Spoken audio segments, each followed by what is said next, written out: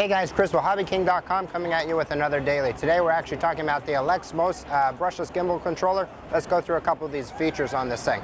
So right now I have it set up on a handheld gimbal uh, to kind of show off some of the options.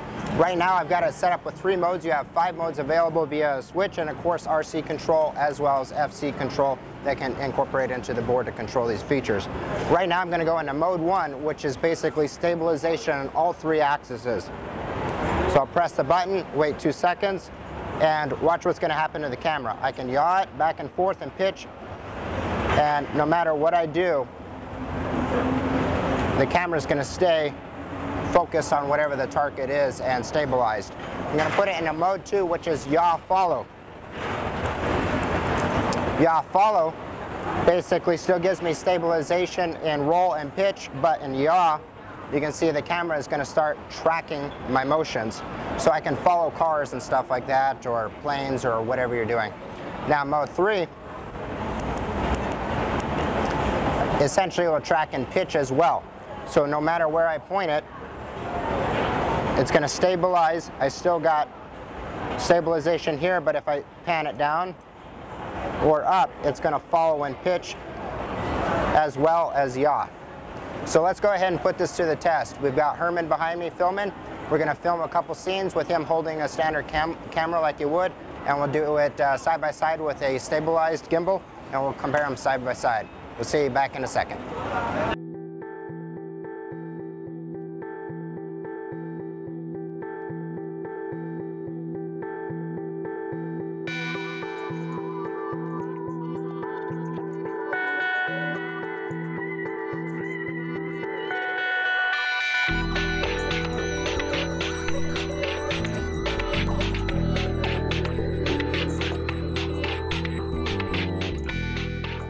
Let's take a look at it. First thing I'm going to show you is actually the easy to use user interface. Now it's one of the best GUIs for brushless gimbal controllers. Uh, it scares a lot of people, they don't know how to tune them. There's a lot of information on the web as far as setting them up for either handheld gimbals or airborne gimbals. Uh, I'll just show you a couple of screens. What's really nice is that it has different profiles selectable. You can either do it through an RC channel or a switch for a handheld gimbal.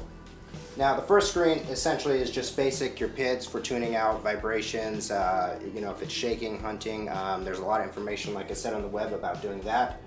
And the advanced screen, it just gives you some options on how you drive the motors. Uh, I'm gonna switch over, you got RC settings, which actually gives you RC controls, so you are able to uh, control how the pitch and pan and tilt are controlled. Uh, this particular one, we've got a three axis setup uh, as well as it can plug into your FC and take the data from that so it can essentially predetermine if it's going to have hard acceleration so it knows to ramp up amperage or, or voltage accordingly. I'm going to jump on over to follow mode which is a real nice feature for the people that are utilizing it for handheld gimbals. Uh, this mode allows essentially the camera to track its motion and you can set up the parameters in here for thresholds so it can move X amount before it starts tracking or wider or maybe you're wanting to move it fast so you have tighter tolerances on it. It's easy to set up and what's really cool is that there are five available profiles in this. So you essentially can, uh, with the button on the back of this, just click it once for profile 1, two times for profile 2, etc. Uh, each profile could actually be the same thing, just tighter tolerances or a follow mode. Alright guys, that was a lot of fun. Check it out. It's the Quanum Alexmos brushless gimbal controller. We have it in two axis and three axis available. It's on the new items page great for handheld gimbals for your uh, indie film guys that want to jump in and, and get something a little more professional looking and perfect for your flight controller as well to augment on multi-rotors for aerial photography. As always, subscribe to our YouTube channel and we'll check you next time.